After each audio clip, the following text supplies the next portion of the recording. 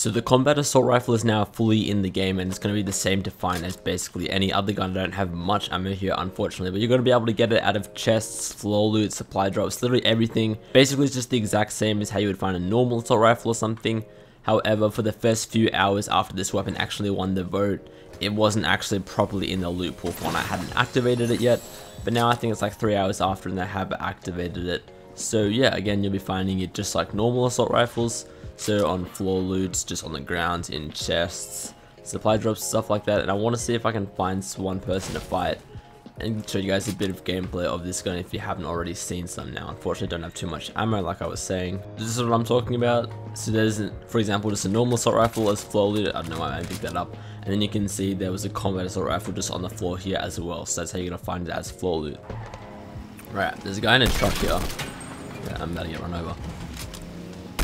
You can see there, it's not hitting a player, but that sort of gives you an idea of the damage. Now the range on it isn't great, I don't think, considering it's an assault rifle, mainly because the recoil.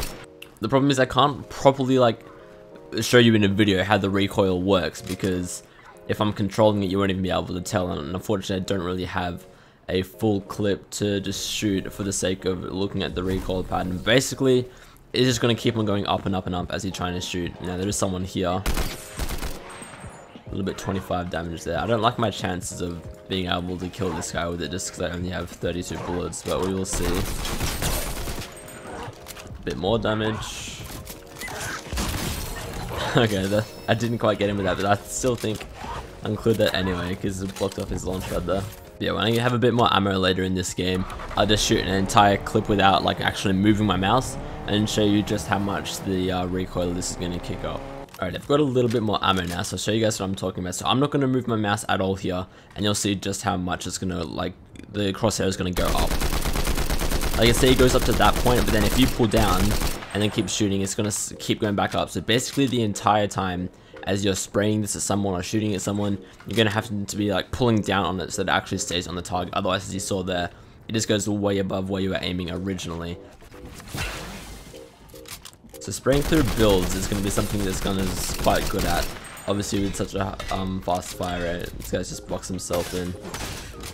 Um, it's not going to do, I mean any gun is a bad idea against the um, armored walls to be honest, so no surprises there.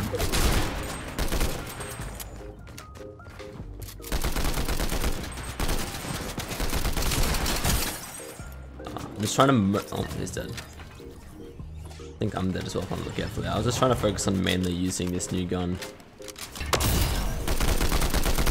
As you can see, that's not really going to do much for you just because the spread on this thing is crazy. But what you can do is just run it. This is going to be very, very good for like, uh oh um, aim assist players. Because as you saw there, it is very, very easy to just like run into someone.